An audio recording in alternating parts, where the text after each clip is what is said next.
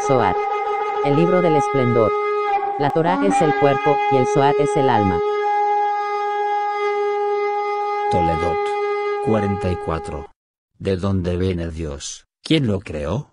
Dios está fuera del tiempo, es una conciencia omnipresente. No puedes reducir a Dios al espacio temporal. El tiempo es una dimensión válida para el mundo físico, para el cuerpo, pero Dios ni tiene cuerpo ni nada que se le parezca a un cuerpo. Así que no vive en el espacio temporal. El espacio temporal es un frasco, es algo que estrecha. El tiempo es relativo cuando vas a la velocidad de la luz. La mente es infinitamente más rápida que la velocidad de la luz. El tiempo deja de existir, no tiene ni principio ni fin, no tiene tiempo ni materia. Porque para hablar de un principio y un fin hay que hablar de tiempo. Todo lo mental no tiene tiempo, todo lo físico tiene un principio y un fin. En el cerebro izquierdo, lógico, tiene principio y fin. El cerebro derecho, intuitivo, no tiene principio ni fin, es un círculo, no una línea. El ser humano está hecho de cabeza redonda y cuerpo rectilíneo.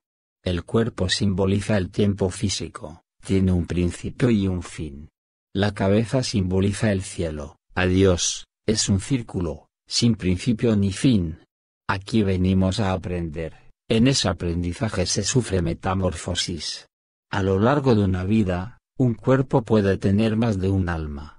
Nos pasa el tiempo, pasamos nosotros. El tiempo es una percepción mental.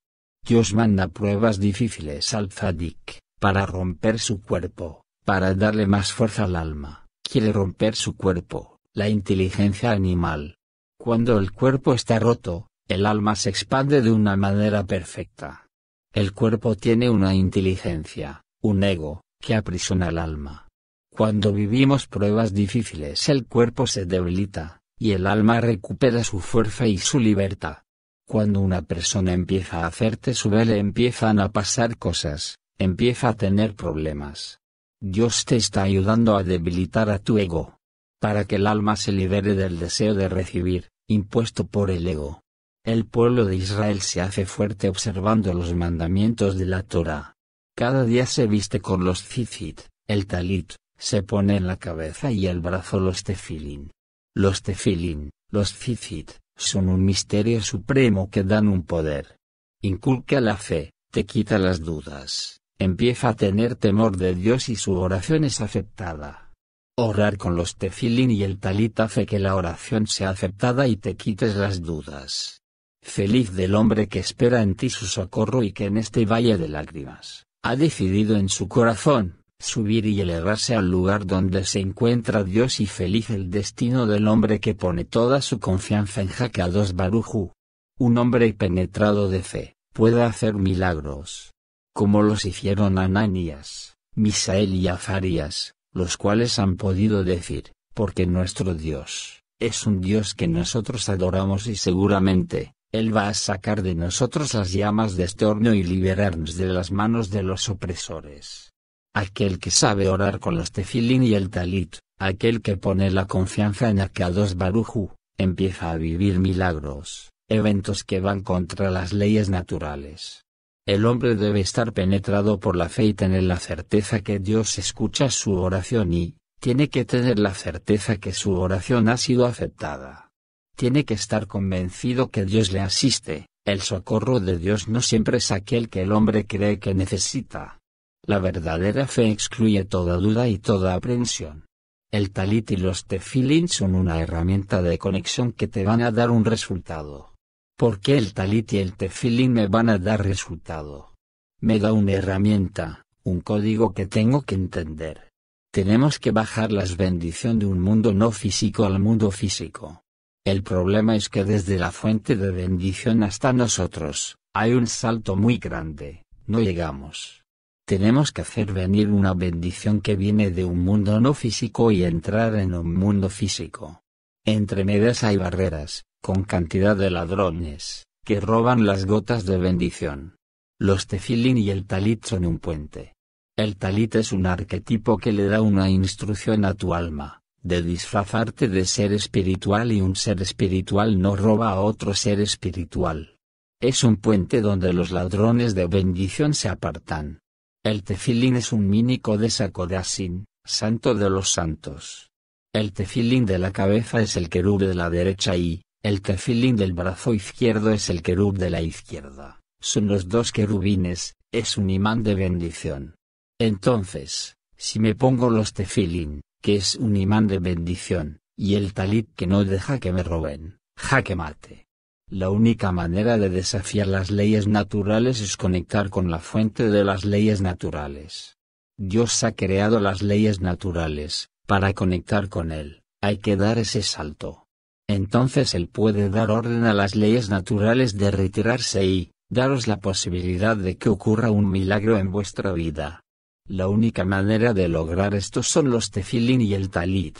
El que ha instituido la oración de la tarde, Minja, es Itzhak, ¿por qué lo hizo? Para darte el Nahat Ruach. El Nahat Ruach, la paz interior, se consigue con la oración de Isaac, la oración de la tarde, que sustituye el sacrificio del templo. Te garantiza el Olamaba. Esta oración se llama Minja. Hacer la oración de la tarde te da un Nahat Ruach en este mundo y en el otro mundo, porque cuando vamos al otro mundo también necesitamos paz espiritual porque podemos tener una conciencia muy torturada cuando nos vamos al otro mundo. La oración de Minja evita que tengamos una conciencia torturada en el otro mundo. Una fuente cuyas aguas se derraman de manera perpetua, es la imagen del misterio supremo de la fe, un pozo que posee una fuente que siempre se está rellenando. Es la imagen de dos grados, el grado del macho y el grado de la hembra, juntos. La fuente y el pozo forman un todo llamado Vejer. Y la fuente nunca se para y el pozo siempre se llena. Está hablando de la relación entre Dios y el hombre, cuando el mundo espiritual es el novio y el mundo físico es la novia, cuando hay salón entre el novio y la novia, ahí está la fuente que nunca para de alimentar el pozo. Es cuando el mundo espiritual sigue dando vida al mundo físico. Para hacer el salón y tenemos que tener el templo o tener la oración. En la oración tenemos herramientas que sustituyen las herramientas del templo. Son el talit y los tefilin. Por eso decimos que funciona, porque hay una ingeniería divina explicada. La sabiduría suprema es la más escondida y la más misteriosa, es el misterio del mundo futuro, el Olam que ha sido creado por la letra Yud, Yud es es la meditación. La meditación es el Olam Aquel que medita está en el Olam Algunas veces uno espera el socorro de Dios y parece que no hay respuesta. ¿Qué ocurre? Que Dios no te lo quiere dar. Un padre, desgraciado, tenía un hijo con un cáncer, le quedaban pocos días de vida, fue a ver a un zadik. Este hombre muy puro empezó a rezar y rezar por ese niño, ayunó mucho, hizo mucha tzedaká, hizo todo lo que se puede hacer, con todas las leyes de la Torah, para salvar la vida de ese niño. El niño murió.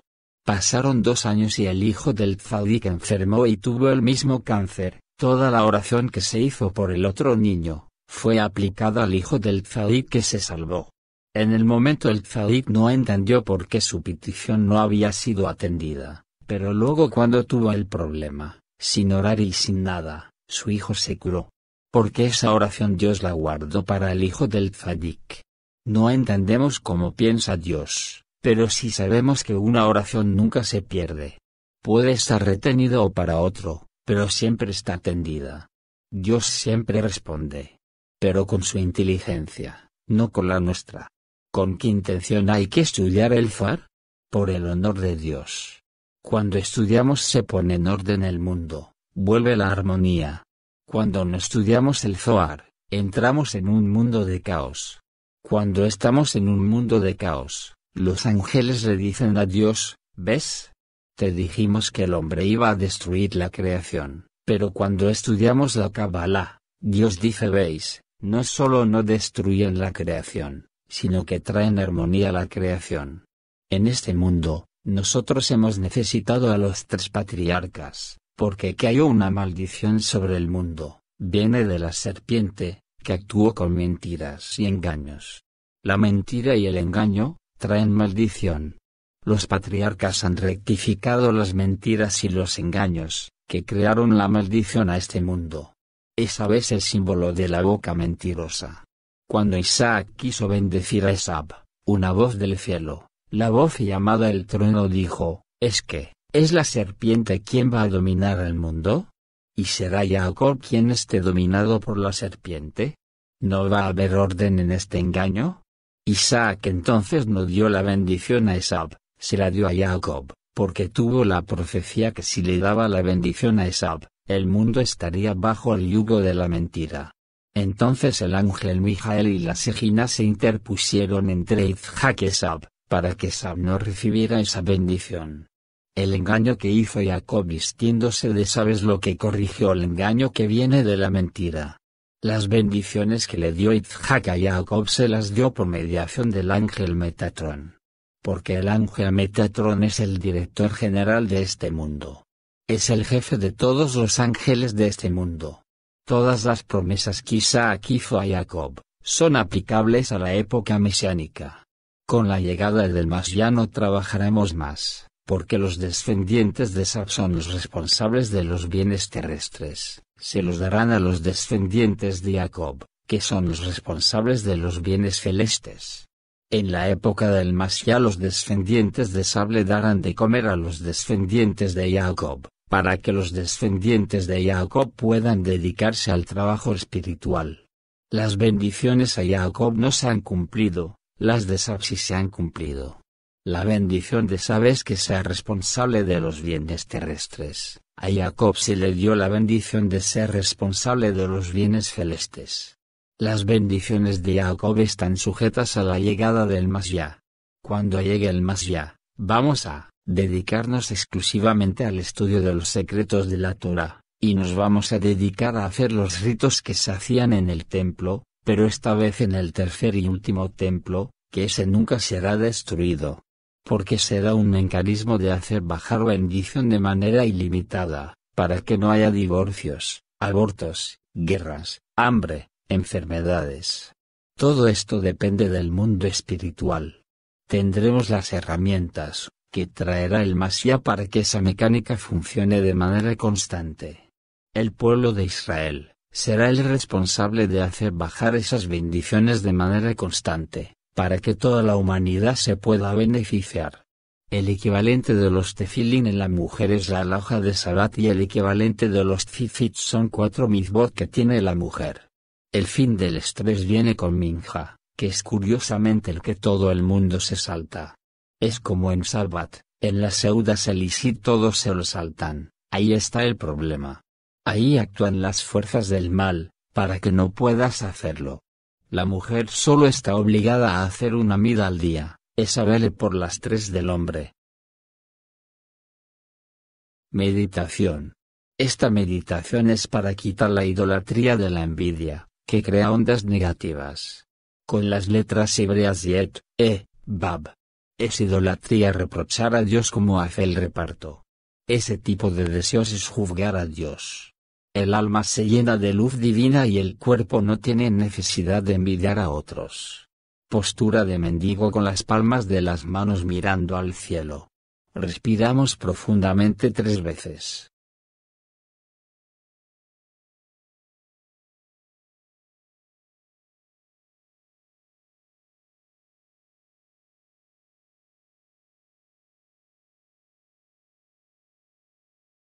Nos vemos dentro en un Magen de David color oro, y visualizamos otro Magen de David que actúa como pantalla.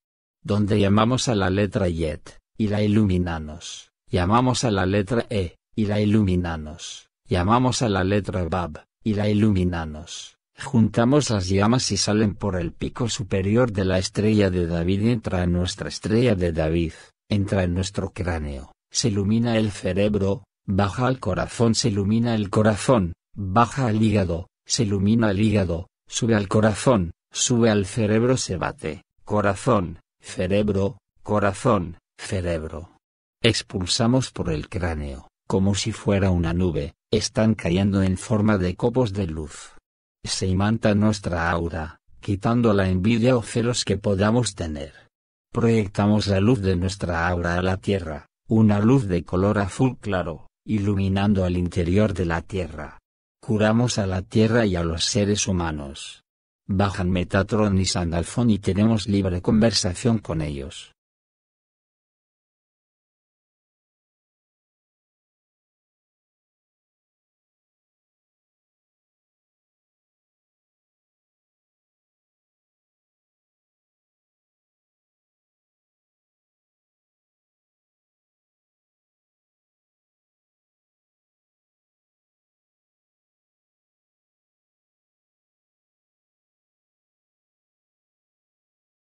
Respiramos tres veces profundamente y abrimos los ojos.